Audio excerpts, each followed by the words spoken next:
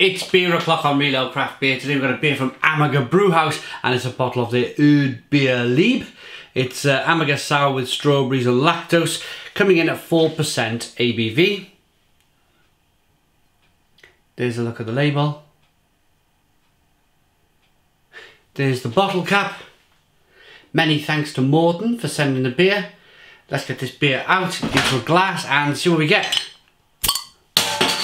Nice bit of smoke on the bottle opening. Beer in the glass then.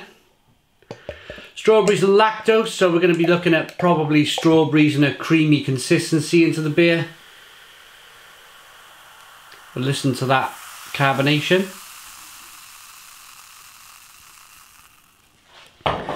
Many times with the sour beer, all the times really, the, the sourness in the beer the way the beer is created will dissipate, the head will dissipate very, very quickly on the beer. It'll last no longer normally than five seconds and it's gone. We have a cherry, almost cherry raspberry red coloured beer. Um, good levels of carbonation floating around in the glass. Hazy looking beer. Let's get the aroma. Oh, that smells delicious.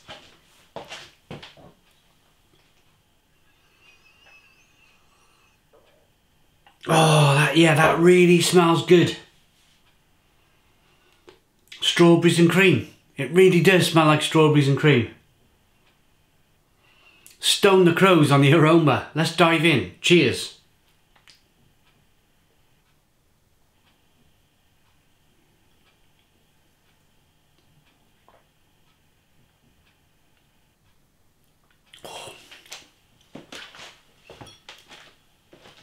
Oh wow, yeah, really good. Stone the Crows. Lovely sourness on this beer. Really sour. Stone the Crows, I'm happy with that. I'm really happy. I think it's the sharp strawberry fruits that's giving that massive sourness.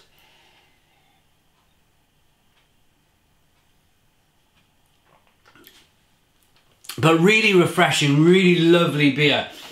Just super juicy, super refreshing. If you imagine strawberries and cream on a hot day, like you've chilled the cream down in the fridge, the strawberries have come out, you've poured cold cream over your strawberries and you're tucking in in the sunshine. Oh, it's nothing, nothing better. It's terrific. But the beer tastes, it's given that imagination in my mind of eating strawberries and cream in the summer sun. So it's doing its job.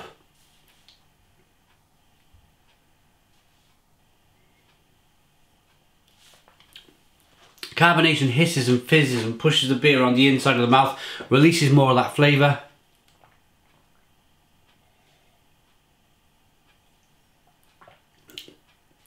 That is a terrific, terrific example of a sour beer. Erdbeer Lieb. 4% ABV. Massive thank you again to Morton for sending me the beer part of my birthday, my 40th birthday beer package. I think this could very well be the last one now. So many thanks to Morton for the beers. If you want to pause the video, and then you'll be able to read the, the label. So it's a lot for me to read out. I don't want to bore you to tears. But I'm ready to rate it. You get that wheaty flavour on the back as soon as the sourness dissipates. The sourness gives a refreshingness of its own, as, as long as, uh, as well as the carbonation. The strawberries and cream flavour, the real strawberries in the beer, and the lactose give give a, a, a lovely refreshing feel. So this is all round one big massive refreshing brew. And I'm kind of leaning towards these styles of beer now. The more refreshing the better for me. Rating. I like that enough to give it a 10 out of 10 that's a Stone the Crows 10 out of 10 please put your comments in the comments box. Subscribe to our daily beer reviews. Give us a big fat thumbs up. Boom. Cheers